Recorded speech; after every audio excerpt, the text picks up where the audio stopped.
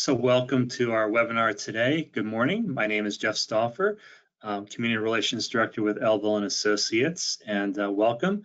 We have Which Form of Business Entity is Best for You, presented by CEO and Chief Counsel Chuck Borek of the Borek Group LLC. Elville and Associates is also very fortunate to have Chuck as special counsel to our firm, available to advise our clients on all business law related matters. Um, how this will work today, uh, you are on mute. However, if you have questions, and we really want to encourage you to ask questions throughout the presentation, uh, please note them on the questions panel um, on the right-hand portion of your screen, and I'll be sure to forward them to Chuck during the presentation, and we'll pause during appropriate times to answer your questions. Um, you also, as always, receive the presentation beforehand um, through email ahead of time for your convenience to take notes on it if you wish. Uh, as always, for certified financial planners, CPAs, and other professionals on today's webinar, you may receive 1.5 continuing education hours for attending. So if I do not have it already uh, for my records and per the requirements of the CFP Board of Standards and others, please email me your board ID. And for CFPs only, I do need the last four digits of your social security number um, for my reporting requirements. So please get that to me at your earliest convenience.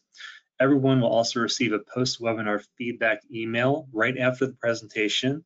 And we do ask that you please take just two minutes to fill out this simple survey to offer us your thoughts about the presentation, um, share with us some ideas about some presentation topics you'd like to see us offer in the future. And you also have some op an opportunity to request a time for a consultation with Chuck to discuss your planning needs as well. So it's my pleasure to introduce Chuck Borek right now.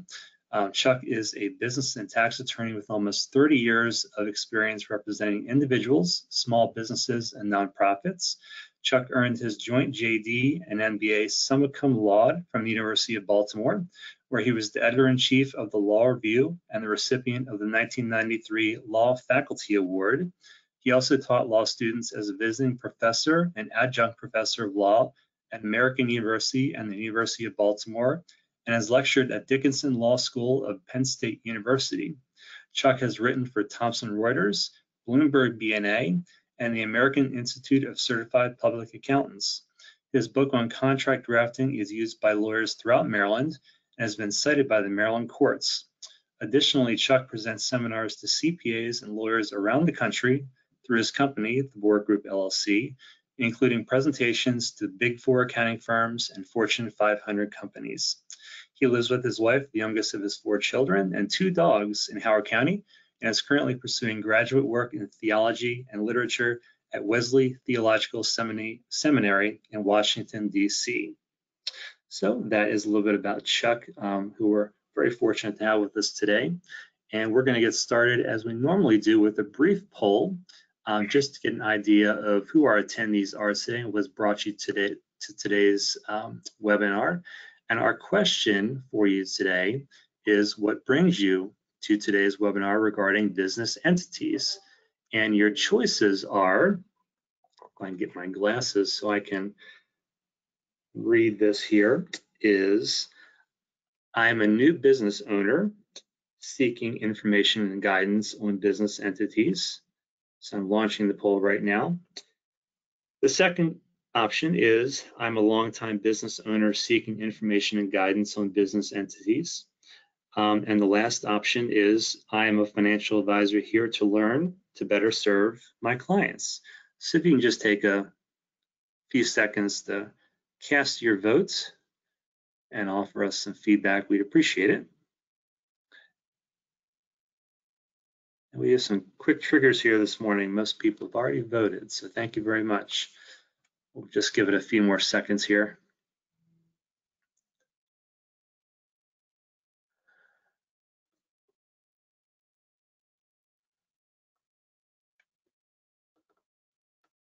Okay, so with most of the votes having been cast, uh, it looks like we have 42% saying I'm a new business owner seeking information and guidance on business entities. 17% saying I'm a longtime business owner seeking information and guidance, and another 42% saying I'm a financial advisor here to learn to better serve my clients, which is always a good thing. So welcome back. All right, so with that being said, I'm gonna go ahead and turn it over to uh, Chuck. So give me just a second to switch controls and give Chuck the reins here so he can share his presentation. And Chuck, you should see that um, pop up there. And I can see you, great. I'm gonna turn my camera off so I'm not a distraction and it's all yours, Chuck. All right, thanks very much, Jeff. I appreciate it. Um, well, welcome. Uh, thanks for uh, attending our podcast um, uh, this morning. Uh, today, our topic, of course, is what form of business entity is best for you. Uh, and as we'll discuss, uh, that's really an essay question. You know, there's no no formula, no secret formula that will tell you, you know, check this box and check that box, and and that's the entity that's right for you. There are a lot of different facets to this question, a lot of uh, different concerns, um, a lot of different situations. Um, one type of entity might be right under certain circumstances in one situation, and if you change the situation a little, maybe a, a different type of entity uh, might be better. So what we're going to talk about is we're going to talk about the parameters. We're going to talk about the types of concerns you should have, and we're going to talk about the options that are available, and generally when you use different types of options. But again, I, I want to emphasize that uh, a decision about the right choice of business entity in any particular situation should be done in consultation, uh, primarily consultation with a tax person, because as we'll see, uh, the uh, a major ramification, maybe the major ramification of business entity uh, is uh, tax considerations, and there can be vast tax differences depending on uh, your choice of entity. And again, uh, what those differences are and what those tax consequences are really depends on your situation. So it's not as if, well, there's one entity that's you know tax favorable in all cases.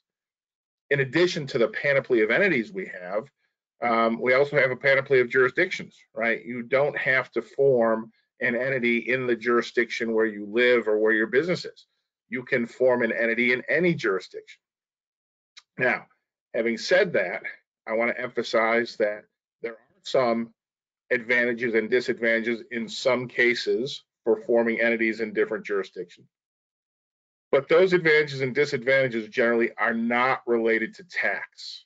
All right, that's a very common myth that um, certain jurisdictions are better for tax purposes.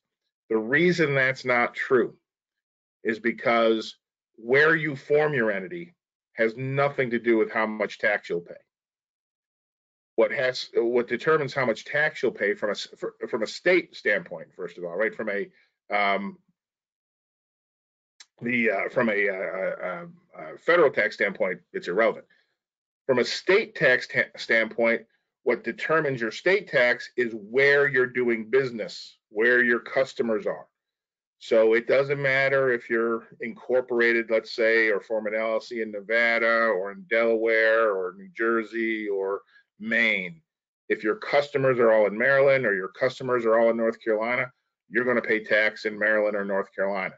So um, the advantages uh, that I speak about in terms of jurisdiction are other advantages, are some administrative advantages, uh, in some cases, some liability protection advantages, and, I, will talk about that today. Um, but that's the, the uh, those are the key things I think to understand. So with that, I'm going to go uh, and um, focus on my my PowerPoint uh, presentation and, and, walk you through, as I said, some of the uh, different issues uh, and advantages and disadvantages um, of, of, various types of um, uh, business organizations. First of all, Jeff introduced me, so I won't go through this again, but um, I've been practicing tax law for a long time. I'm also a CPA and have, in fact, practiced as a CPA for five years. I was a partner in a CPA firm down in Bethesda. Uh, Jeff mentioned my book and, and my teaching. I've, I've, been teaching almost as long as I've been a lawyer.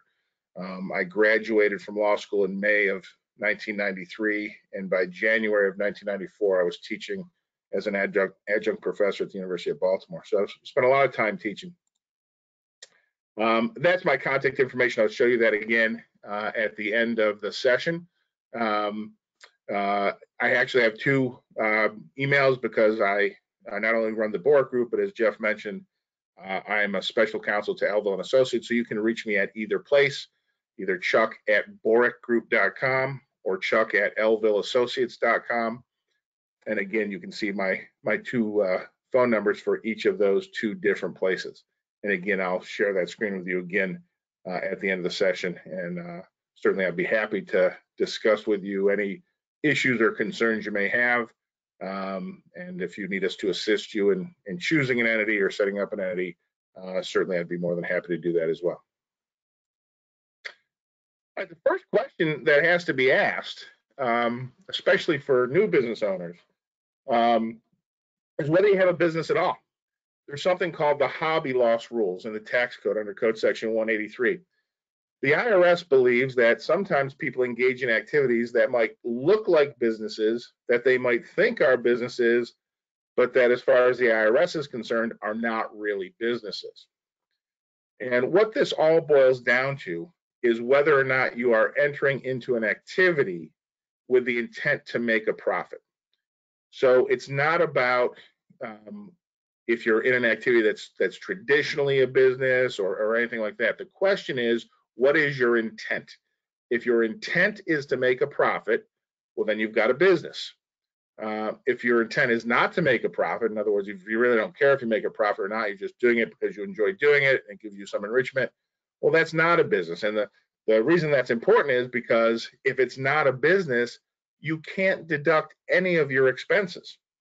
You still have to pay tax on any income you make, right? Um, under our tax code, you always have to pay tax on income.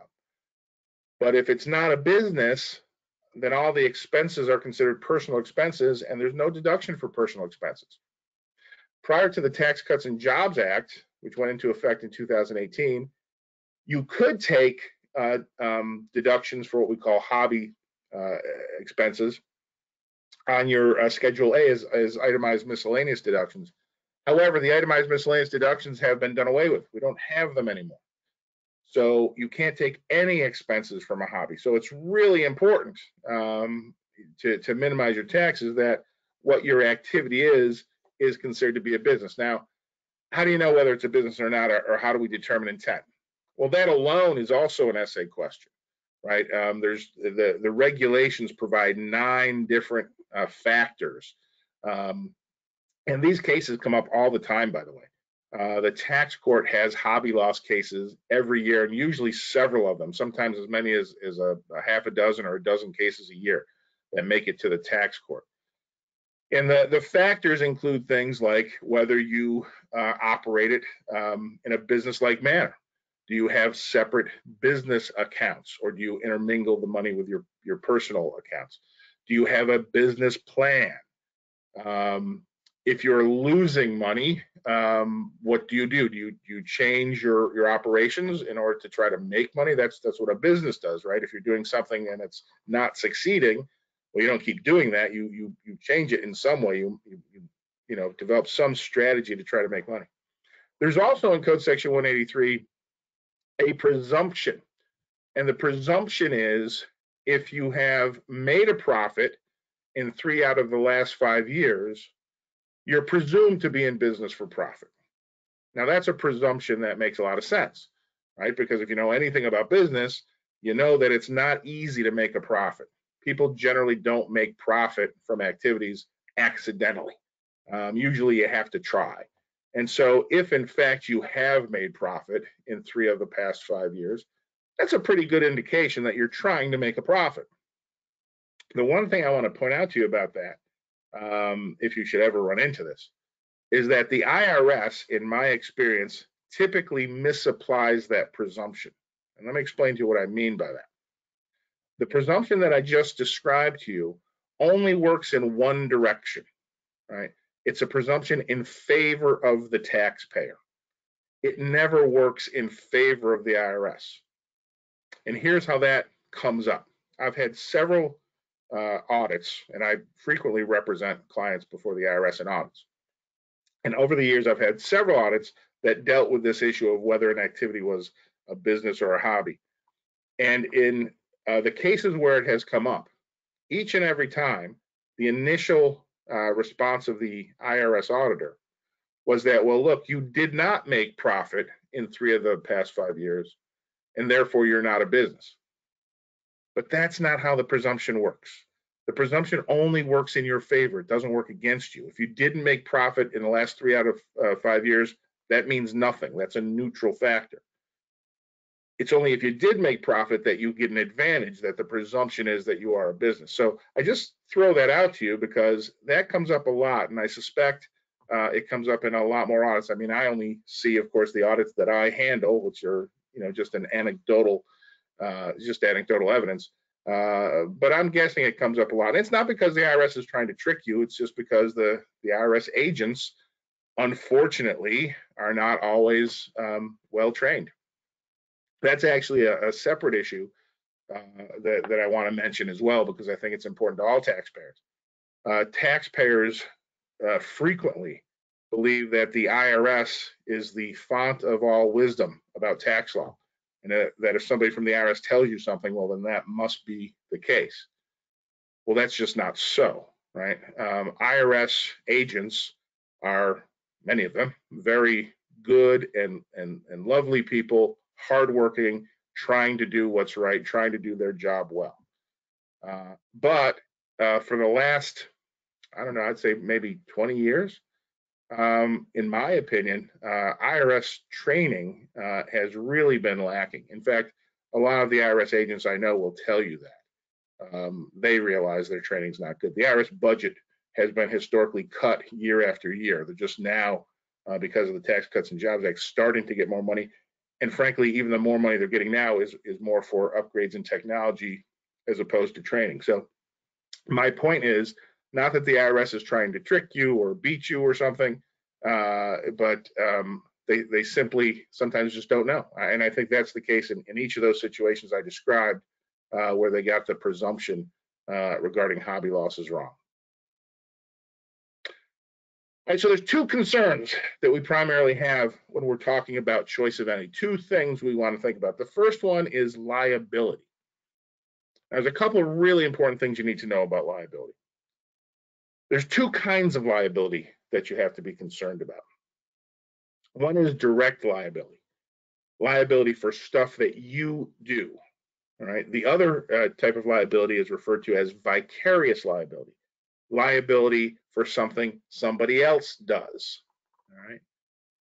And, and in terms of the types of things you can be liable for, there are two different categories. We, we call one torts, right? Like negligence, right? That's a tort. And the other one is contract liability. So let's try to unpack that a little bit. First of all, talking about torts, let's talk about negligence, all right? There is nothing you can do to immunize yourself from a claim of negligence. All right, there's a saying in the law that the tort feasor, meaning the person who commits a tort, is always liable for their own tort. So the fact that you are working in a company that's a, a corporation or an LLC, none of that matters. If you committed the tort, if the injury was caused by your personal negligence, you are personally liable. There's nothing you can do about that other than cover yourself with insurance, right? Um, for example, suppose you're a, a, a, driver for UPS or FedEx or you know one of some, uh, some delivery company, and as that driver for UPS or FedEx, which of course are big corporations, suppose you negligently drive your truck into somebody's I don't know house, right?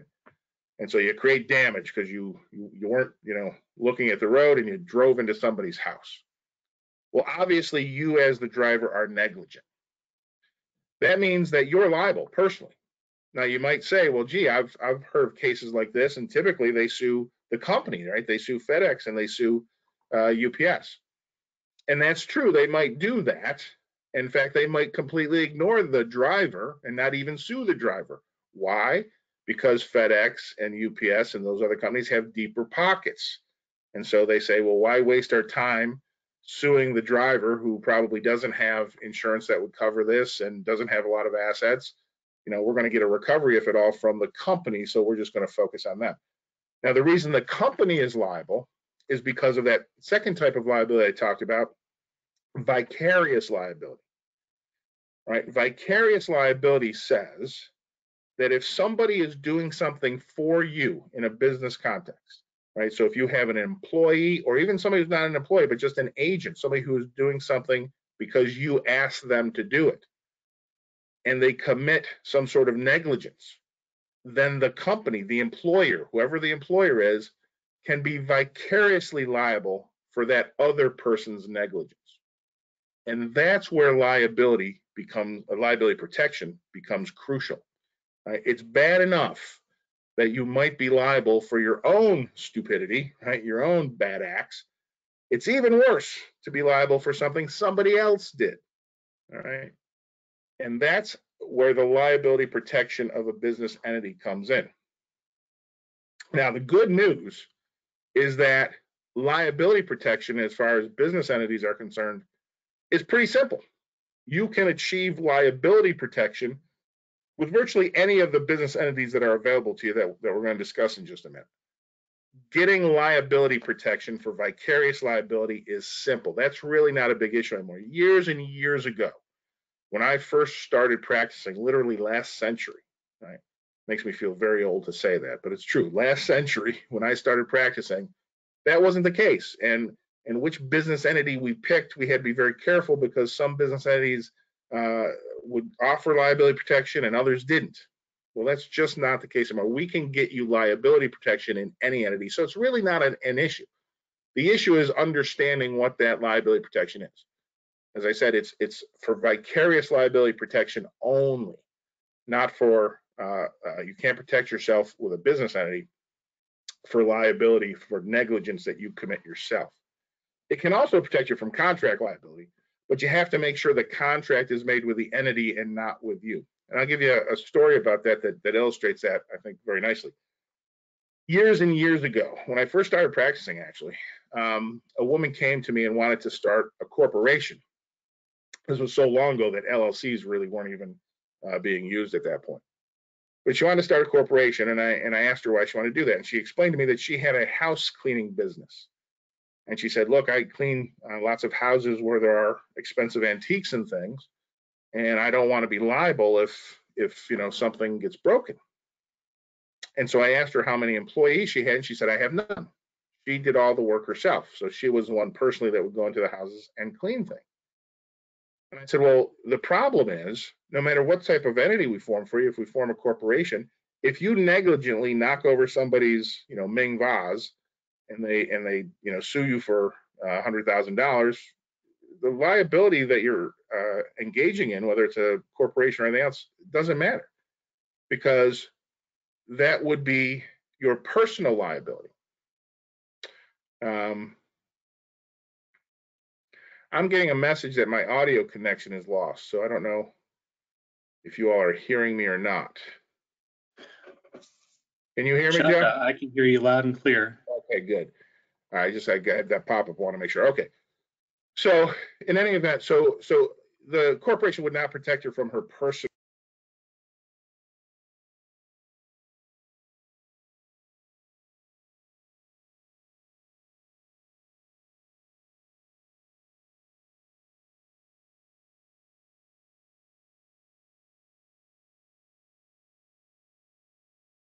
They could only sue the entity, so that would protect you from personal liability. I said, "Do you have any contract concerns?" She said, "Well, yeah, I do." Uh, she had a lease, um, and she said, "You know, I want to put the lease into the name of the corporation." And I said, "Okay, we can do that.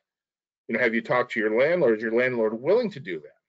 And she said, "Sure." The landlord will, said they'll do it as long as I personally guarantee the lease. Well, obviously, if she personally guarantees it, then she hasn't escaped any liability. So that was a situation where the type of liability that she was looking for protection from was simply not available through a business entity, right? Her, her, only protection from liability, from exposure to liability would be insurance. So the point is liability protection is easy to achieve in a business entity, but you have to be aware of what exactly it protects you from. It never protects you from your own negligence. and never protects you from a contract that you've entered into in your own name. The other concern, of course, is tax. And in fact, tax is the bigger concern. Now, the reason it's the bigger concern is because, as I said, liability is easy. we can get over the liability hurdle without any problem. You know, we, we the liability issue doesn't really um, limit our choices of business entity. All of the types of business entity forms are basically open to us, and we can still achieve liability. Tax is a different story, however, right? Um, the tax ramifications vary greatly depending on what business entity you choose. So again, which is the best one? Well, as I said, it's not as simple as that. It's not like one business entity always gives you a lower tax liability. It depends. It depends on the facts and circumstances. It depends on what exactly you want to do with the business. It depends on whether you're starting a new business and whether you have other owners or not. It depends on whether you're merging with a business. It depends on whether you're looking for venture capital investors. It depends to some extent on uh, whether you have employees. Uh, depends on what your exit plan is, your your business success succession uh, strategy is. So there's no one answer, but there are a bunch of variables, and that's what we'll talk about in terms of the tax issues. What are the variables? What are the types of things that you should be thinking about? These are basically the tax choices for a business. They're basically four categories, uh, four tax frameworks, if you will um, that uh, that we can consider. Um, the first is just a Schedule C. Now, a Schedule C really just refers to um, a business that doesn't have any business entity form. In other words, just a sole proprietorship, one owner, and no corporation, no LLC, nothing like that. Um, if you have a business like that, your business activity gets reported on Schedule C of your Form 1040.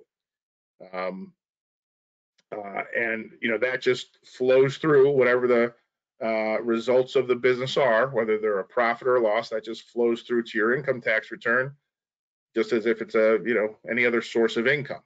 All right. Um, beyond Schedule C, there are three regimes in the tax code. There's Subchapter C. Subchapter C is applied to corporations. Subchapter C is the general corporate tax framework. Now, in order to understand Subchapter C, uh, the concept of it, you need to understand that under the law, a, a corporation in general, under the law, a corporation is a separate person in the eyes of law. A separate person, separate and apart from all the owners, separate and apart from all the uh, the officials, the officers and directors the corporation itself is, is considered to be an artificial person. Now, as an artificial person, as any person, the corporation has to file and pay its own taxes, just like all the persons listening to me right now, right? You're all separate persons. You're responsible for your own taxes. And so it is with a corporation. And subchapter C of the tax code goes through the rules of figuring out how much that person, known as a corporation, has to pay in taxes. Now, with a small business, um, the connection between what the business earns and what the owners are going to earn is very close, right? And let me explain to you what I mean by that. In a big company, let's you know think about Microsoft or Exxon or somebody like that, right? The corporation earns income and that income or some of it might flow through to the owners in the form of, of dividends, or it might not, right? Uh, not all of the profit likely is going to flow through to the owners. Some of it might, but it might flow at a later date. It, it uh, the corporation will pay dividends to the shareholders when the board of directors decides to do so. And there's all sorts of factors that they um, that they consider when deciding whether or not to declare dividends. And so the, the determination of the dividends and when they'll be paid isn't so closely connected with the business. In other words, a dollar that Microsoft earns today, um, if you're a shareholder of Microsoft, isn't, you know, you, it's not like you're expecting to get your portion of that dollar in the mail next week, right? That's not how it works. There's a sort of a distance between when a big corporation earns a profit and when the shareholders actually get that profit in their pocket, their share of it. With a small business, however, the connection is generally more much more close, right? If you have a small business, generally that small business is what you're depending to earn your living on. So when the business makes money, that money is going to go directly into your pocket immediately, as quickly as possible, right? um, you're not going to hold on to it, or at least not most of it, right? You might keep some in the business for expansion and things like that. But generally speaking, the money, there, there's sort of a direct connection, a direct flow from the money the corporation earns, the money your business earns, and the money that goes into your own wallet. Well, that therein lies the problem with subchapter C. Subchapter C, we sometimes says say has double taxation, right? And what we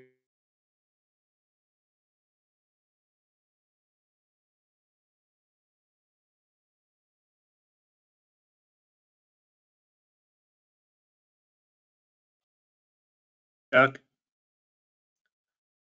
Chuck, seem to have lost you there.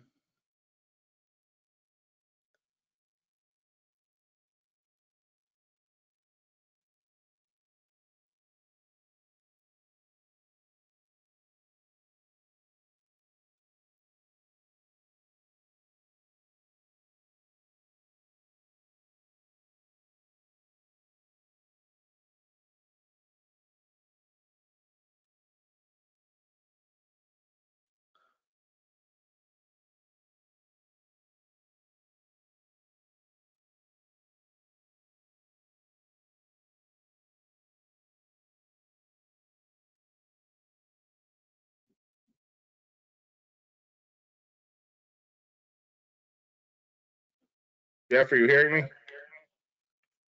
Chuck, I can hear you now, yes. Yeah, it's- I- again, I- somehow it sort of dropped me off there. Are you seeing my screen or do I need to share that again? Uh, no, see your screen, yes. Um, go ahead. You see the screen that says tax choices for business? Uh, let's see, I am. I am still on the two concerns liability. Um, can you try to forward the screen? Yeah, but I'm, I see, I I have a different screen up. I think I need to share my screen again. Let me, uh, try this again here. Okay.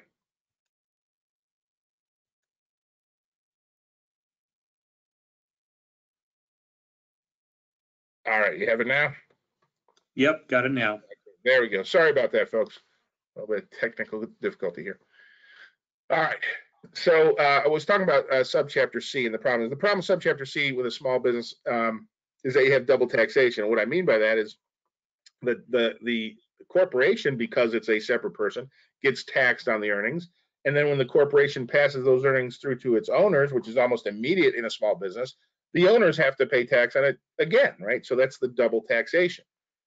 Well, we can avoid that double taxation with our other two choices. Our other two choices are subchapter K and subchapter S.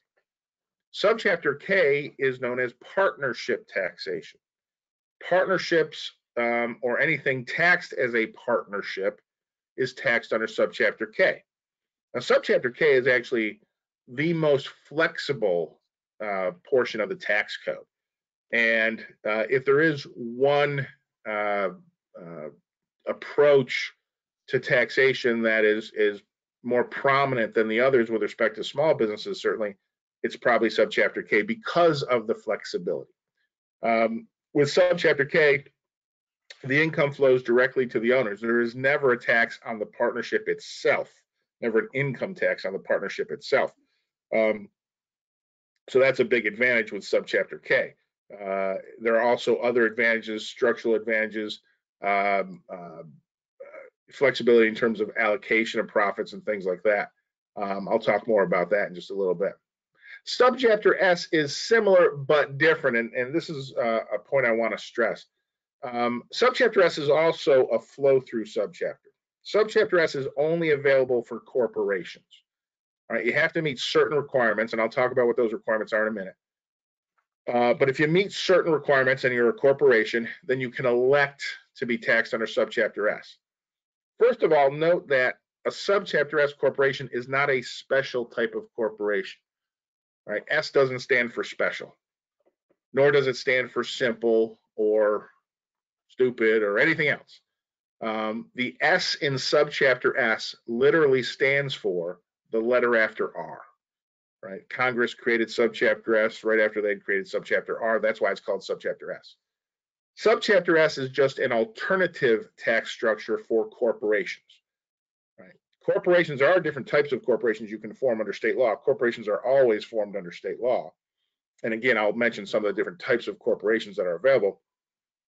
But once you've formed a corporation, if that corporation meets certain requirements, then you can elect to be taxed under subchapter S rather than subchapter C.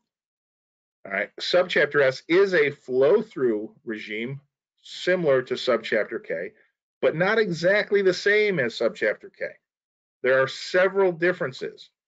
Uh, the big general difference is subchapter K is much less flexible. I'm sorry, subchapter S is much less flexible than subchapter K. So people um, sometimes sort of leap to this conclusion because subchapter K and subchapter S are both flow through subchapters. They sometimes think, well, they're both the same then, right? Half dozen of one, six of the other, it's the same thing. It's not the same thing at all. There are situations where subchapter K might be a perfect solution, where subchapter S would be an awful choice to make. And there are situations where that could be just the opposite. Subchapter S and subchapter K are similar. They're sort of cousins, right? They, they both result in a type of flow through taxation. They generally avoid taxation at the entity level. And I say generally because although in subchapter K, you never have tax at the entity level, in subchapter S, sometimes you do. And there are really, really important differences. So don't ever conflate subchapter K and subchapter S and think they're basically the same thing. They're not. Now, under some circumstances, sure, it's possible that the, the result might be very similar or even the same, uh, but they have very different features. All right. So in terms of entity choice, it really boils down to four things, four different possibilities under state law, under Maryland state law, and in fact, under state law in every jurisdiction in this country now. Um, you know, limited liability companies began back in the 90s, uh, and there was a period of time where not every state had limited liability company legislation. That's no longer true. Every state has it. In fact, every state has almost everything, with one exception that I'm going to talk about today. Um, there are differences from state to state, and we'll talk about that as well. But every state has these four possibilities. You can form a corporation, you can form a partnership, you can form a limited liability company, or a trust. Uh, and I'm going to talk about each one of those different things. In terms of how you form them, forming a corporate, well, the, the simplest one to form, let me begin there, is a partnership in a sense. Um, and what I mean by that is a partnership is can be formed by a handshake. In fact, you don't even need a handshake to form a partnership. What the law says is whenever you have two people who are acting as co-owners of a business for profit, you have a partnership, whether you know it or not. And the whether you know it or not part, I think, is important because a lot of times people don't realize that they have partnerships. I will tell you, almost every business attorney you ever meet, if they've been practicing for long enough, will be able to relate to an experience where clients came to them not realizing they have a partnership. Because a lot of people think that in order to form a partnership you know certainly you must have to have signed something right? Or have filed something or at least have to have paid a lawyer something. Well none of that is true. Um, i remember one time explaining this in a law school class um, and one of the students said do you mean to tell me that you can form a partnership with just a handshake and my response was i mean to tell you that you don't even need the handshake right? All you need is two people who are acting as co-owners of a business for profit, and you got a partnership, whether you know it or not. That means you have to file partnership returns. That means you have uh, the liability that flows from being a partnership as opposed to a corporation or some other type of entity. Right. So in that sense, a partnership is the easiest thing to form. It's not always the easiest, however, because whenever you do have a partnership, what you really want is a partnership agreement. That is crucial. And depending on the number of partners and the situation, partnership agreements can be extensive and expensive. All right. Um, you know, people often ask me, well, how much do you charge to to uh, draft a partnership agreement? And I mean, the the range is, is almost infinite. I mean, I've I've done partnership agreements for you know under a thousand dollars, and I've I've done partnership agreements for ten thousand dollars. Uh, in fact, more than ten thousand dollars in at least one case I can recall. So it depends on the complexity of the situation, the number of partners. Um, so that's the complex part of the partnership, not forming it, but uh, entering into the partnership agreement. The next simplest to form would be a limited liability company. Now, with a limited liability company, you do have to file something with the state, but it's a really simple thing. It's not very complicated. Uh, and that's basically all you have to do. You, you file this document with the state. They're called articles of organization. Now, the complexity with a limited liability company is just like a partnership, you're going to want to have a, a partnership agreement, what we call an operating agreement in a limited liability company. So that's really where the complexity and expense comes in with a limited liability company, not in forming it, but in negotiating and drafting that um, operating agreement. Corporations um, are the most complex to form uh, in the sense that you got to file articles of incorporation, you have to have bylaws, you have to have minutes of meetings, and you have to issue stock. So there's lots of paperwork involved in a corporation.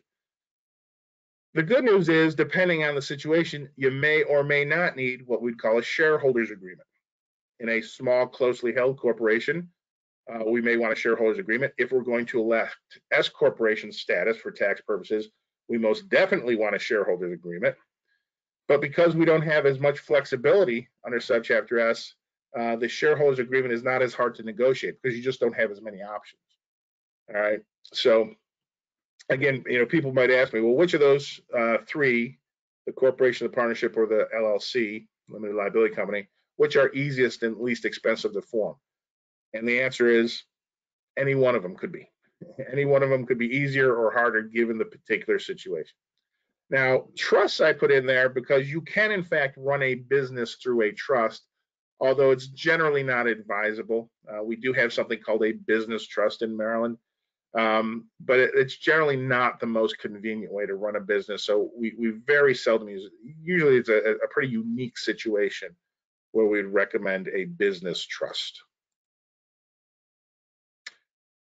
In terms of types of corporations, there's lots of different types under state law now. Under state law, uh, Maryland law, and this is true in most states, there are different types. You have non-stock corporations, which are generally designed for nonprofit organizations. You have uh, uh, uh, cooperatives, you have professional corporations. In some states, you have farm corporations. So you have a lot of different types of corporations. But what I want to talk about are the three basic categories, subchapter S, uh, subchapter C, subchapter S, or the professional corporation professional corporations, let's deal with them first. Um, they can only be formed by professionals, licensed professionals, lawyers, accountants, physicians, people like that. And it used to be, and this is starting to change in many states, um, it used to be that all of the owners had to have a license in that profession. So in a professional corporation that was a law firm, for example, all of the owners, all the shareholders had to be lawyers a professional corporation that was a physician's practice, all of the owners had to be physicians. That's starting to change uh, very gradually. Uh, many states are, are starting to allow other people who aren't professionals, as long as they work in the business, to be um, to be shareholders. You can always tell if a corporation is a professional corporation, by the way, because it's always designated as one of two things. And rather than saying Inc. or Corp in its name, it'll say PA or PC. PA and PC just stand for Professional Association, Professional Corporation. They're synonymous. So when you see a company, if you go to your your doctor's office or your lawyer's office, right, and it says Smith and Jones PC, well, the PC just indicates a professional corporation as opposed to a partnership or something else. Every other corporation, as I said, or every corporation, including professional corporation, is going to be taxed under subchapter C or subchapter S. Subchapter C is sort of the default, unless you can elect subchapter S. There are several requirements in order to elect subchapter S. The main ones I have on the screen. Can't have more than 100 owners. So if you're going to have a lot of owners uh, in the corporation, S corporation status isn't available to you. Now, even with a lot of owners, frankly, there are there are different types of um, complex structures we can uh, we can um, uh, create that can achieve S corporation taxation. That's a little bit about uh, beyond the scope of what we're talking about today. You can't have any foreign owners. Basically, all of the owners of an S corporation have to be U.S. citizen individuals, right? Because as the last box indicates, you can't have any entity ownership either. You can't have any other corporations as shareholders or partnerships or LLCs with one exception that I'll mention in a minute. Um, so those are the, you know, the restrictions on an S corporation. Um, the the difference in flexibility comes from those restrictions. With an S corporation, as I said, like subchapter K, it's a flow through organization, right? The the the income, the profit flows through to the owners. But in an S corporation, it has to flow through based on the percentage of stock you own. So if you own 20% of the stock of an S corporation, you must get allocated, meaning you will be taxed on 20% of the S corporation's uh, income. There's nothing you can do to change that. Uh, with subchapter K, we can modify how much profit flows through to the different uh, partners. Uh, so that's why one of the ways in which subchapter K is a lot more flexible. In terms of partnerships, there's really sort of a, a whole uh, menu, a, a broad range of partnerships. There's the general partnership or sort of the basic partnership. Now, general partnership is is generally gone the way of the dinosaur. Most people don't want a general partnership because a general partnership doesn't offer you any liability protection. Uh, in a general partnership, all of the partners are jointly and severally liable for for all partnership debt. Uh, back in the old days, I mean, I'm you know 30 years ago, that was the only choice you had if you wanted to have a partnership. So um, you know, it wasn't like you know, you might say, well, why would anybody ever choose a general partnership? Well, once upon a time, that, that's all you had available to you if you wanted to be a partnership. Now, however, in Maryland and in every state, we have something called an LLP or a limited liability partnership. Now, people sometimes confuse an LLP and an LLC. They're very different things, right? An LLP is just a partnership it's essentially the same as a general partnership. In fact, it's exactly the same as a general partnership, except with respect to one thing. And that one thing is an LLP has made an election for its owners, its partners, not to be jointly and severally liable for the partnership debts. That's the only thing that distinguishes an LLP from a general partnership. Otherwise, it's the same thing. In fact, the law itself even says specifically that it says that if you're a partnership and you elect to be an LLP, you're still the same partnership. You don't get a new tax ID number. You don't, nothing changes. It just uh, protects you from liability. So you might say, well, why would you ever form a partnership and not elect to be an LLP? And the general answer is you wouldn't. You know, basically, if you're if you want a partnership form, which might be desirable under certain circumstances, invariably you're going to elect to be an LLP, right? There's no reason uh, to hold your owners liable for partnership debts. The reason there are still general partnerships that exist um, are, well, I suppose there's a couple reasons. One is, as I mentioned earlier, sometimes people form partnerships and they don't even realize they formed a partnership. So if you don't realize you formed a partnership, then you don't know enough to make the election to, to be an LLP, right? And so uh, if, if you don't even realize you're a partnership and you've met the requirements I mentioned earlier, two or more individuals agreeing to share profits as co-owners, well, then you you're open to partnership liability. Um, the second situation uh, that you might have a general partnership and not an LLP is simply a situation where people are, are just not well advised. Um, I do seminars uh, for CPAs uh, and lawyers, but mostly CPAs all over the country, right? Um, and on at least one occasion, and I think I, I was actually up in Alaska um, somebody in, in one of my seminars, I was talking about LLPs, and somebody in the back of the room raised their hand and they said, Well, we don't have those here. We don't have LLPs in, in Alaska. Well, at the time, I knew that that wasn't true because by the time I was doing that seminar, every state, all 50 states, had enacted LLP legislation. But what it pointed out to me is that it might very well be that someone who's advising a business owner doesn't realize that there's this this option of uh, electing to be an LLP. It's not like an S election, by the way. There aren't any you know, stringent requirements or anything like that. Any partnership can elect to be an LLP, and they should.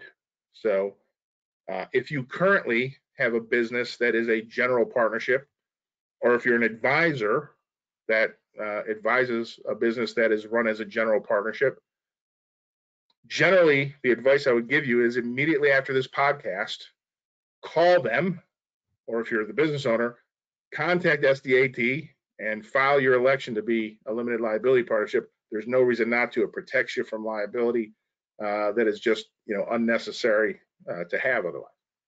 Now, there's also a special kind of partnership called a limited partnership. That's not new. We've had those for, for literally for centuries. A limited partnership uh, is a partnership that was more important, frankly, before we had the LLP, right? Because before the LLP, you only had two choices if you want to be a partnership, general partnership or limited partnership. With a limited partnership, some, but not all, some of the partners can be protected from liability, but you always have to have at least one general partner uh, who is personally liable for the partnership debts. All right, so that was the big reason for an LL or for a limited partnership. Um, if you wanted to have a partnership structure for a variety of reasons, and people wanted to come in as owners, they wanted to be partners, but they weren't going to be involved in the business, and therefore they didn't want to be liable for anything the business did. Well, you could form a limited partnership. A lot of real estate investments are uh, structured that way, where you'll have a developer, right, who's going to run the development, and they'll be the general partner, but they need a bunch of investors. Well, the investors don't want to be liable for stuff that the developer does. They don't know anything about what the developer is doing, right? They're not going to participate in the business. So they want liability protection. So you can structure that as a, a limited partnership and bring the investors on as limited partners. Now, as I said, with the advent of the LLP, that liability protection is not so important anymore because we can achieve the same thing through just electing an LLP status. However, for whatever reason, you want to have a limited partnership, and there are some statutory differences. Uh, they're not profound, but there are some. And so it might be easier to form a, a, limited partnership under certain circumstances. In Maryland and in about, I think it's about 20 or 25 states now, almost half the states, we have an LLLP option, right? The LLLP functions very much like the LLP. Uh, the LLLP stands for Limited Liability Limited Partnership right? So it's basically just a limited partnership that has elected to protect its general partner from liability, hence a limited liability limited partnership. Well, you might say, well, wait a second, my head's starting to spin, right? If we've got limited liability limited partnerships, and the whole point of the limited partnership was to protect uh, um, the limited partners from liability, and now not only do we have a limited liability limited partnership, but we have an LLP. We can just form an LLP why do we need so many kinds of partnerships? Why doesn't everybody just form an LLP? That's a good question. And a lot of commentators have suggested that that probably will be the case in the future. I don't know how long into the future. I mean, we've had this structure for a long time, and, and laws tend to change, especially business organization laws, tend to evolve over time. But after many years, probably maybe in our lifetimes, um, you'll you'll find that the limited partnership and the LLP and even the general partnership as a as a functioning entity are, are probably going to go away.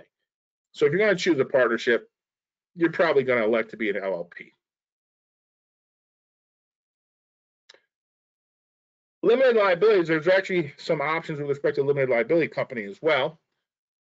You can have what's called a sole member or single member LLC all right, what's designated on the screen as an SMLLC. Um, what that means is you don't have to have, unlike a partnership, right? A partnership always has to have at least two partners. An LLC doesn't. You can have just a single owner of an LLC.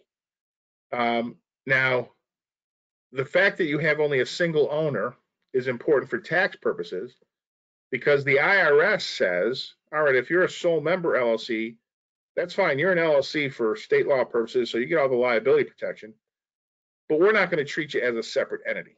In other words, if you're a sole member LLC, your business uh, activities just go on Schedule C of your 1040. You don't file a separate return for the business, for the company. All right. So it's basically the best of both worlds. You get the protection uh, of being an LLC, right? The protection from vicarious liability and contractual liability if the contracts are made with the LLC. But it's very simple from a tax standpoint. You just do your tax return like you normally would, like you were a sole proprietor. There's no special tax return you have to do for the LLC itself. Now, assuming that you have more than one owner, or even if you are a sole member LLC, um, you can elect to be taxed as a corporation. If for some reason you say, I want to be an LLC for state law purposes because it's easiest to run. An LLC is a lot easier than a corporation in terms of paperwork you have to do every year and stuff like that.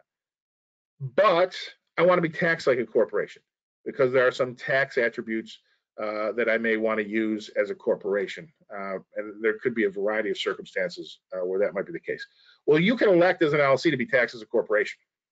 All right. Um, and in fact, once you elect as an LLC to be taxed as a corporation, you can then elect to be taxed under subchapter S. So with an LLC, you can be taxed under subchapter K.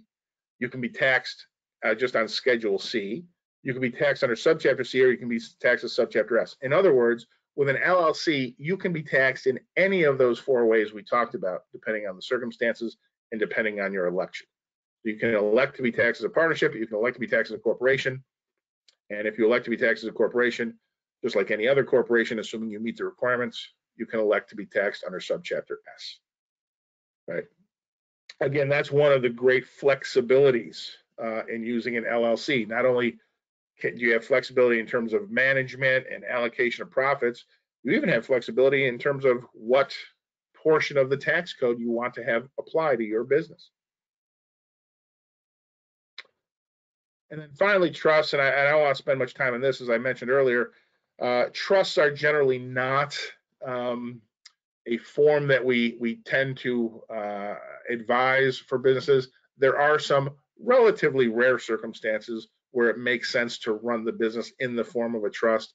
Um, very commonly, uh, those situations involve lenders, uh, where a lender is, you know, where, where, the business basically it consists of one substantial asset.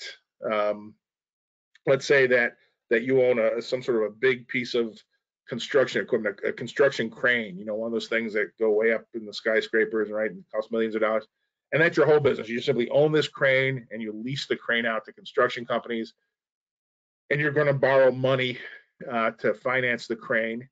Uh, well, it might be that the lender, for the lender's purposes, would prefer that the crane be housed in a trust, um, and that has more to do with the lending issues than with anything else.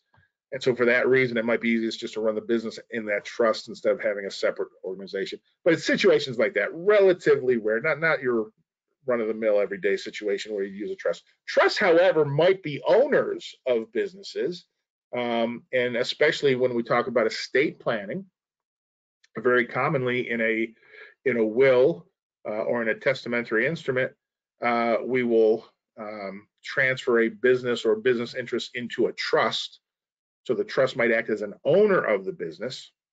There is some some care that has to be taken there, however, because remember when I talked about an S corporation, I said, generally speaking, you have to be a human being, a US citizen to be an owner of an S corporation.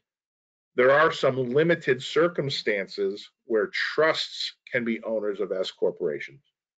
Um, but there are specific limitations. There's only a couple of kinds of trusts that can be owners of S corporations, so you have to be very careful with that. It, it, by the way, if, if an S corporation ever has an owner that isn't qualified to be an owner, then the, the S election immediately evaporates. Right? The day you the day someone who's not eligible to be an owner of the S corporation, in fact, becomes an owner of the S corporation, from that day forward, it's no longer an S corporation. Right. So, which is one of the reasons, by the way, you really want to have a shareholders agreement if you're going to form an S corporation, because you want to make sure that nobody is allowed to transfer their stock to somebody who will blow the S election, right? Um, so uh, shareholders agreement is always crucial when you have an S election that has uh, an S corporation that has more than one owner. Okay, now another topic I want to talk about because tax is so important any choice. I want to talk about the qualified business income deduction. This is a new deduction it's in code section 199 cap A. It was instituted by the Tax Cuts and Jobs Act. So the first year we had it was 2018. Um, and although we have two years under our belts of uh, applying the qualified business income deduction, it is actually a, a relatively complex piece of legislation. Um, there's lots of twists and turns as to when it applies and when it doesn't. When it applies, it's a great deduction because in some cases, and I'll describe in general what those cases are, you get to deduct 20% of whatever the income uh, your whatever your share of the income is from a business, right? That 20% of your share of the income, you know, becomes a deduction. So in other words, if you own a business as a partnership, let's say, and your share of the income from the partnership is $100,000, well, you get a $20,000 deduction, right? Um, that's pretty good. Um, however, the, the, the problem is it's not quite that simple. Um, as I say, there's lots of twists and turns, and we certainly don't have time in this short podcast to go through all of them, but I do want to talk about some of them just to give you a general idea. I will tell you that I do web uh, seminars, well, webinars these days mostly for CPAs, where we get into all the technicalities of uh, 199 Cap A, the qualified business income deduction. And I tell you, many of those webinars are eight hours long. We do full day webinars uh, on this topic, and even then, we we don't really cover every nuance.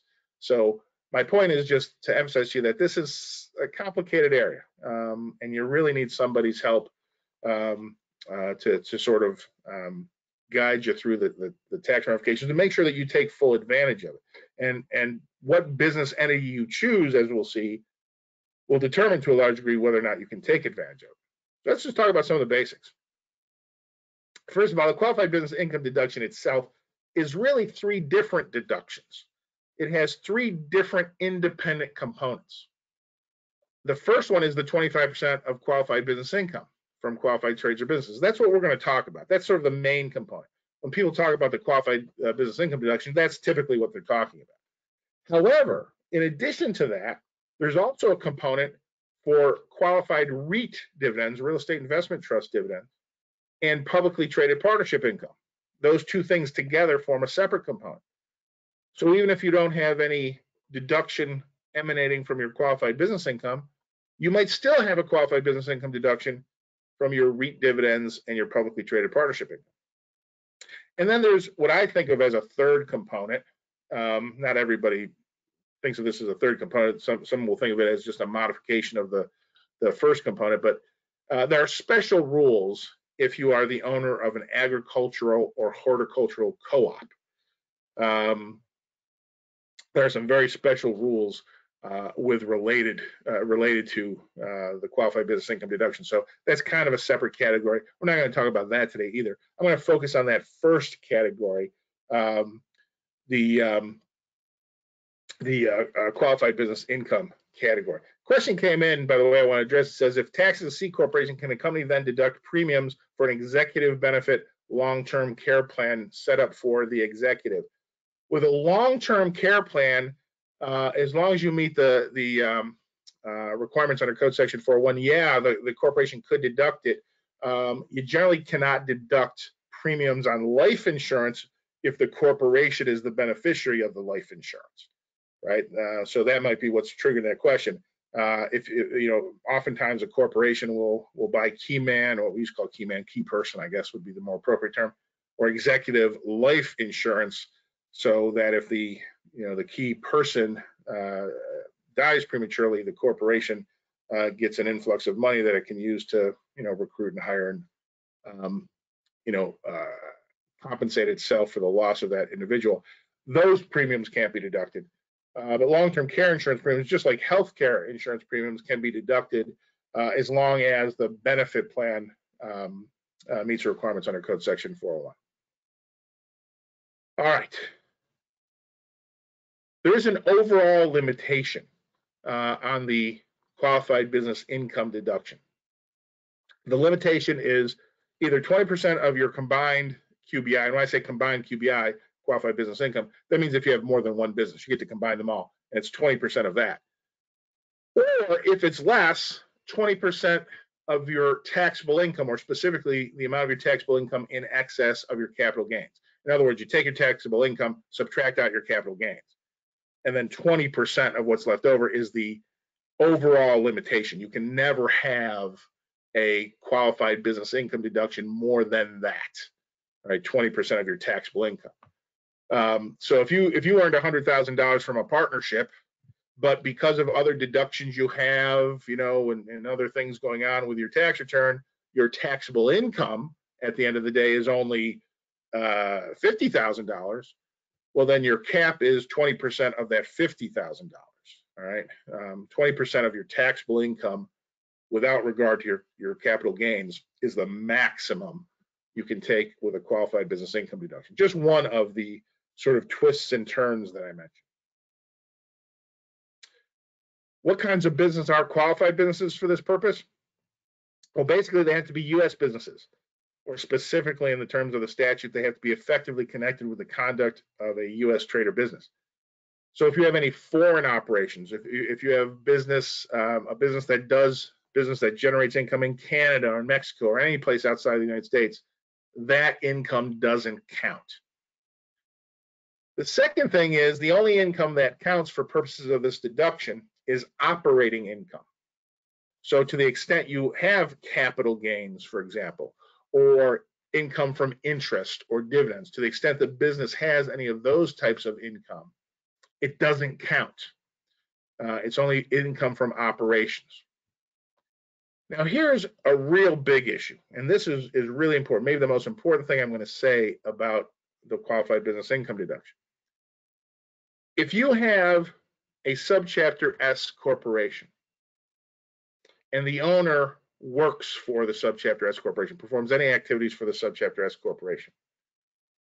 The tax law says that that owner, that S corporation shareholder, has to be paid a reasonable salary.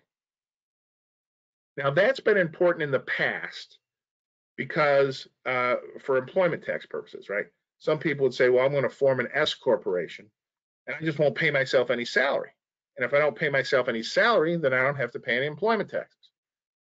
Well, the law says you can't do that. You must pay yourself a reasonable salary before any money coming out of the S corporation is considered anything other than salary. In other words, if you don't um, uh, use a reasonable salary, the IRS will just treat it all as salary and you'll have to pay employment tax on everything uh, that you get from the S corporation. So that employment tax issue has been with us for, for decades, literally.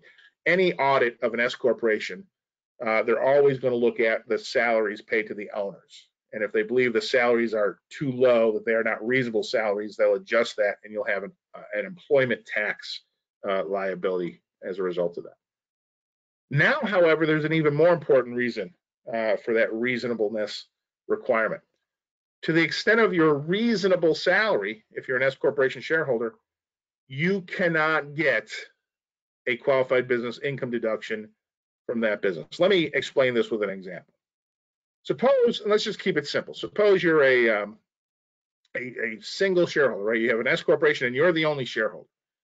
And let's say that S corporation generates $100,000 of profit, right? $100,000 before you've paid yourself anything and you say, well, um, I'm just going to pay myself some nominal amount. Maybe you're the one that runs the business, but you say, I'm just going to pay myself $10,000 in salary. And everything else I'll just take as a distribution from the S corporation. So the $10,000 in salary, I'll pay the employment tax on. When I figure my qualified business income deduction, I'll get 20% of that $90,000 that's coming to me as non-salary income from the S corporation. The problem is if you get audited, the IRS might come along and say, well, wait a second, $10,000 is not a reasonable salary for you. A reasonable salary for you, and that's always an essay question too, right? It's based on the facts and circumstances. But they might say a reasonable salary for you is the whole $100,000. So it's all salary.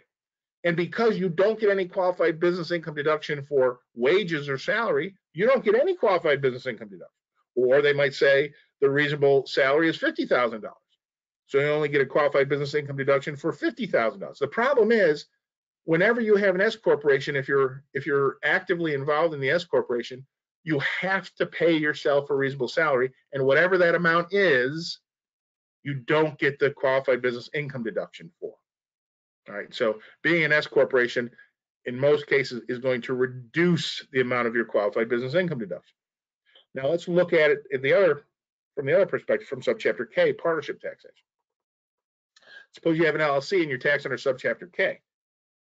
Well, unlike an S corporation, you don't have to pay yourself a salary. In fact, you can't. Um, technically, under the law, with a partnership or anything that's taxed as a partnership, um, a partnership cannot, a partner, I should say, cannot be an employee. Um, and that's because in the eyes of the law, each partner is is a is an owner, like almost like a sole proprietor, even though there may be more than one of you. Um, and so you can just like you can't be an employee of yourself, you can't be an employee of your own partnership. So the good news is you, you don't you don't have to reduce um, the um, uh, the amount that's generated from that partnership for purposes of the qualified business income deduction. The problem is every dollar that that is allocated to you from a partnership is subject to employment tax, right? So you have to to weigh the consequences. What's what's uh, better for me, the qualified business income deduction or the employment tax? Generally speaking, you're going to get more benefit from the qualified business income deduction. It's going to be a higher deduction. It's going to overcome the additional uh, cost of the the employment tax. Uh, but that's not always the case, right? So it's it's one of those factors that has to be weighed uh, it has to be weighed, I should say, to determine what makes most sense for you in a particular situation. And of course, that, of course, it all becomes complicated when you have many owners, right? Because the different owners might be in different situations. One uh, choice might be better for some of them, and one choice might be better for others. Uh, and that's where you have to, you know, uh, sort of do those pros and cons and and decide what makes sense under your particular situation. By the way, if you have a rental property, there was a big question um, surrounding this when, when Congress first enacted the qualified business income deduction. The question was, well, can you take it for profits from a rental property? And originally it looked like, no, you couldn't. And then there was something in the proposed regs that made it look like, well, maybe you can. And then they retracted that part of the proposed regs. And so we said, well, we don't know if you can or can't now. Well, fortunately, the IRS issued this notice in 2019 and in fact, that notice has now ripened into proposed regulations. And what it says is, look, if you meet these three requirements, then you can take a qualified business income deduction from a rental property. First of all, you have to have separate books and records for the rental property. Now you can combine, if you have multiple rental properties, you can, you know, combine them all as one. But you have to have separate books and records. They can't, you can't commingle it with your personal uh, uh, books and records. You have to spend 250 hours of rental services. Um, now, currently, that that's 250 hours for the year that you want to take the deduction. Starting in 2022, it's just going to be three out of every five years. Um, the good news is rental services um, it's relatively easy to meet that requirement. Basically, and this is not material participation, right? Sometimes if, if you're familiar with the passive activity loss rules, you might be familiar with a concept called material participation. This is not that this is actually much easier to meet than material participation. Things like collecting rent, negotiating with with tenants, fixing, you know, doing repairs and maintenance, all that thing, uh, you know, taking out trash, all that stuff. And by the way, you don't have to do it personally. You can pay somebody to do it, right? So you can have uh, agents, you can have a, a, a real estate um, management company do it for you. As long as you're paying for it, it counts. So as long as that adds up to 250 hours during the year, you've met the second requirement. And the third requirement is that you have contemporaneous records of those rental services. In other words, you can't wait until you get audited and then say, well, let me go back and figure out how much how much the rental services were. You have to keep an ongoing, you know, accounting of an ongoing track of it. But if you meet those three requirements, then you're allowed to treat your rental property just like any other business for purposes of the um, qualified business income deduction. Now, the IRS goes out of its way to point out that if you meet these requirements, it only applies to the qualified business income deduction. So there's all sorts of other rules, uh, most importantly, the passive activity rules that I mentioned earlier uh, that deal with rental property. So, you know, these, these rules don't apply to those things. It only applies to the qualified business income deduction. There are also a couple of what I call kickouts um, if the property was used as your residence at any point during the year, even for one day, then you can't use the safe harbor. By the way, that doesn't mean that the, the rental property is not going to be treated as a trade or business. Whether or not the rental property is, uh, is treated as a trade or business is really a facts and circumstances test, right? The notice that I just showed you is a safe harbor, right? The nature of a safe harbor is that the IRS says, look, if you meet these certain requirements, we won't argue with you. We won't make an issue of. So that's what the safe harbors. So if you've used the the the um, uh, real property as your residence during the year, you can't take advantage of the safe harbor. You might still be able to argue that the rental activity is a trade or business, right? That's a separate issue.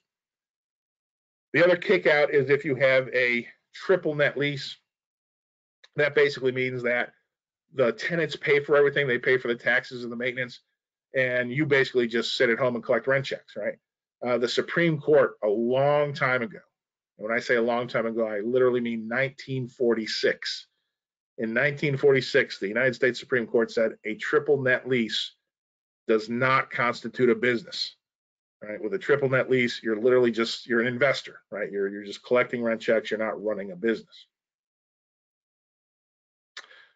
There's two limitations uh, that can get a little complicated. Uh, with respect to the uh, 199 cap A deduction, I'm going to run through these relatively quickly because they are a little complicated. Um, but I think you should just have a general idea of what they are. First of all, there's the W-2 wage limitation, and then there's something called a specified service trade or business limitation. With the W-2 wage limitation, it says that your qualified business income that you count for purposes of the deduction um, can't be any more than 50% of the W-2 wages paid by the business, right? And if it's an S corporation, that would include the W-2 wages paid to you. Or if it's more, 25% of the W-2 wages plus 2.5% of the unadjusted basis of qualified property. Unadjusted basis of qualified property basically just means the cost basis, whatever you paid for the property. The reason we have that complexity is because of the real estate lobby, frankly. Uh, when Congress was first um, uh, drafting this legislation, the W-2 wage limitation just had the 50% of W-2 wages. That was the only limitation. And the real estate industry lobbied Congress, right? And they they they went up to the hill and they said, wait a second, we you know we spent a lot of money taking you guys out to you men and women out to dinner and lunch and stuff and and uh, you know schmoozing you. Uh, we need to get some of this. The problem with the real estate industry is very very frequently they have very little W-2 wages. And so they said, we'll never be able to take advantage of this. However, in the real estate industry, they tend to have lots of property, sometimes millions and millions of dollars of property. So that's why they have this alternative test where you can use the limitation can be just 25% of W2 wages plus 2.5% of the cost basis of property. Now, 2.5%, you might say, well, that's pretty small. But if you've got millions and millions of dollars of property, then it, you know, it, it makes the limit very big. All right. So that's the W-2 wage limitation. Second limitation is the specified uh, service business, um, or sometimes called specified uh, um, trader, specified service trader business limitation. These are the specified services, what you see on the on the uh, screen: health, uh, law, accounting, actuarial science, etc. The general rule and I'm, I'm about to tell you about a, a big um, exception to the general rule, right? So, so don't get too nervous yet. But the general rule is if you're in any of these businesses, you're not entitled to a qualified business income deduction.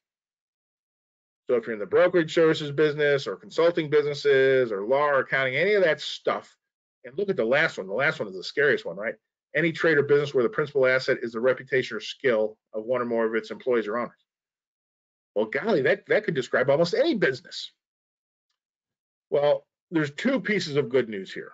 First of all, the regulations uh, uh, define each of these trades or businesses. Now, some of them are exactly what you'd expect them to be. Um, health basically means any sort of health care business. So, uh, business meaning businesses where there's a, a professional who treats patients.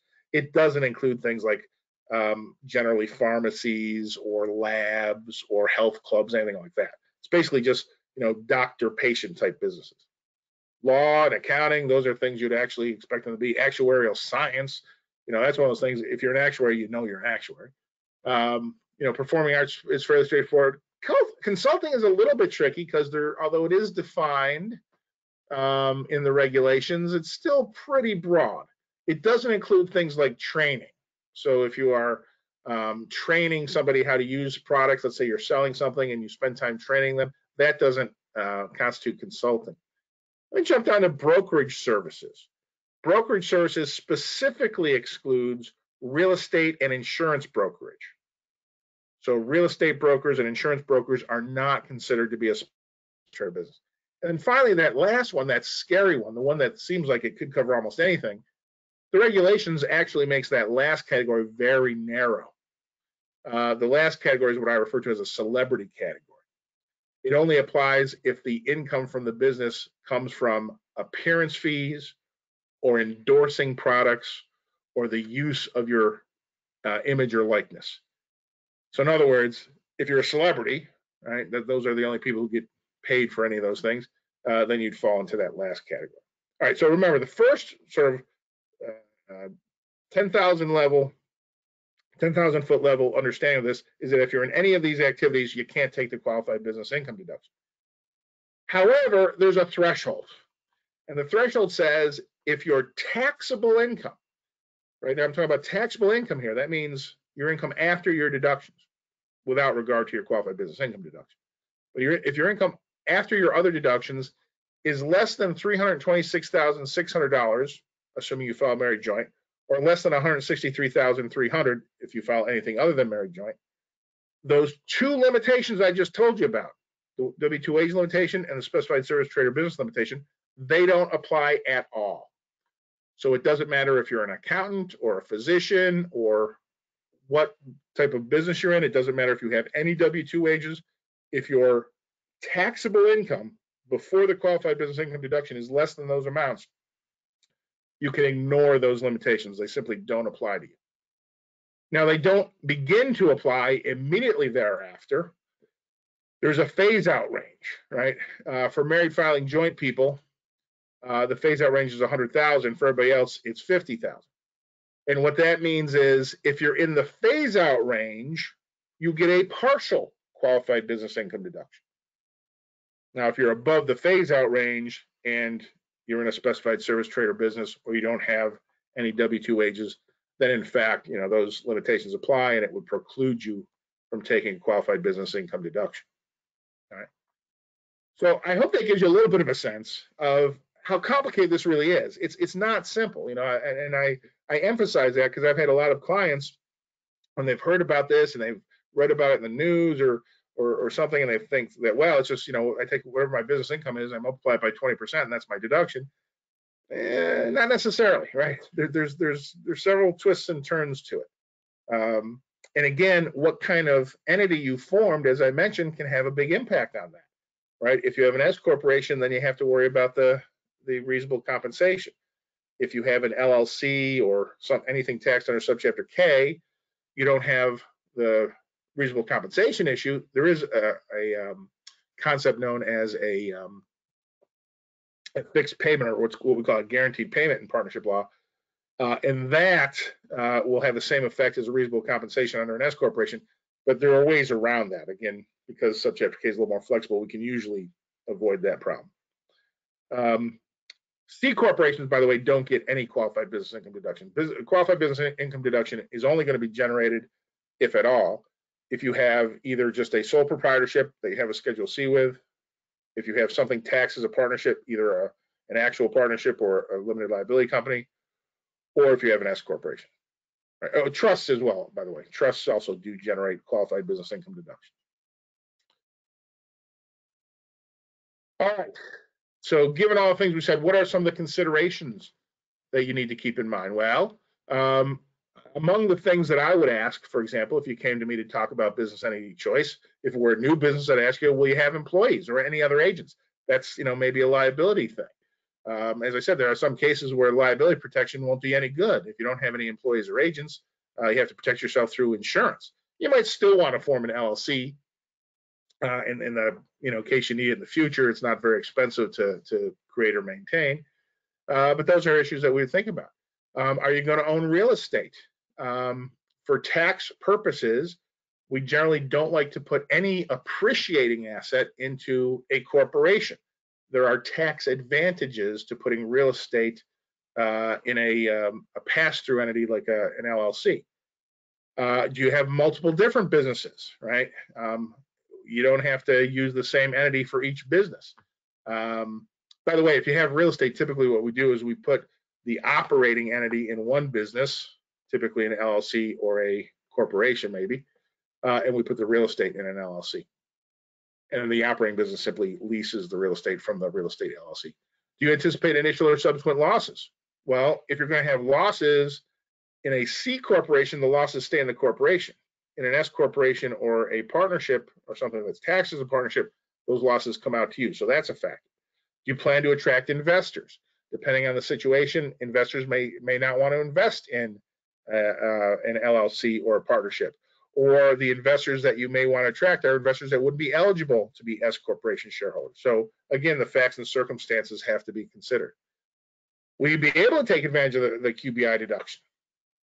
I mentioned the drawback with an S corporation, but if your taxable income is above the thresholds we talked about, then it doesn't matter. Then there's there's no disadvantage to the reasonable compensation requirement under subchapter S. So again, those things have to be considered. Will there be multiple owners? We talked about that. It, it becomes imperative that you have an ownership agreement. Do you plan to pass the business to your children?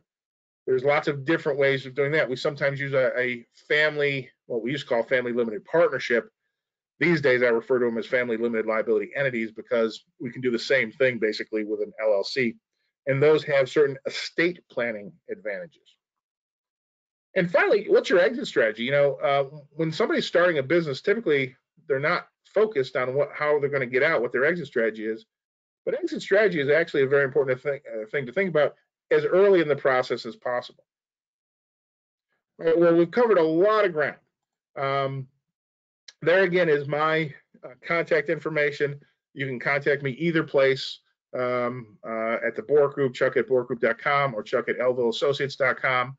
Uh, you see the phone numbers up there, 410-988-3820 uh, for the Borek Group, 443-393-7696 for Elville and Associate. You can reach me at any of those places, and I'll be happy to talk about your situation with you or if you have any questions. And with that, Jeff, I think we've concluded our time. Well, thank you, Chuck. Um, let's give Chuck a virtual hand. Um, a lot of great information, and uh, we appreciate your time and knowledge and expertise. I know I certainly learned uh, a tremendous amount, um, and uh, I wish I knew all that information when I was uh, uh, back in my banking days, um, uh, assisting clients. Um, but I wish I knew you to refer them to as well. Um, anyway, um, now is your time, everybody. Uh, we're getting lots of comments, so terrific presentation um, uh, to you, Chuck, uh, from our attendees. So thank you. Um, now is your time for last uh, chance for questions for Chuck, um, and obviously you have his contact information uh, to follow up with him. Um, you know, lots of uh, responses here um, saying thank you, Chuck. I appreciate one participant had mentioned that they have have the same CPA stamp poster that I have here in my office. Um, and I didn't realize how old that was. Somebody asked me about that the other day, and I realized it's, it's a 22 cent stamp. That, that was a long time ago, I think. But it's a nice poster. So, um, a couple closing thoughts. Um, so, uh, we're going to have Chuck back, uh, which is good news. Um, in sometime in January for a date to be determined. We're going to be talking about uh, integrating your business and estate plans. Um, so we'll make sure we get that information out to you uh, on a date to be determined. Um, Chuck and I will confer um, and get that uh, uh date uh, specified uh, out to you um, very shortly. So uh, we do have a couple of events uh, coming up very soon here at Elville Associates. Um, on the 23rd of October, we have our um, trustee selection workshop, which is a quarterly event that we host. It's very popular. Um, we have a new presentation uh, talking about VA aid and attendance, um, uh, the uh, pension that's uh, very important and pertinent to some people on the 27th of October and on October 30th, um, uh, our very uh, popular presentation of what families need to know about planning for a loved one with special needs uh, is coming back. Um, that's always something that a lot of people like to attend. So um, information um, has been sent out um, and will be sent out about those presentations if you're interested in attending. They're also on our website. Um, and also, um, again, if you need to get in touch with Chuck, his information's there. Um, we have some information about our uh, business services uh, on our website, uh, of which Chuck can be of service to you on. And um, we appreciate your comments uh, on our post-webinar feedback as well as always. And um, I think if we don't have any other questions, I'm going to double, double check. Um, we'll go ahead and call this a wrap and a success. Um, let's see here. No, I think that's everything for today. So thank you again, Chuck. Thanks everybody for attending, and we look forward to seeing you all on another webinar soon. Have a great day, everybody. Thanks. Bye-bye. Thank you.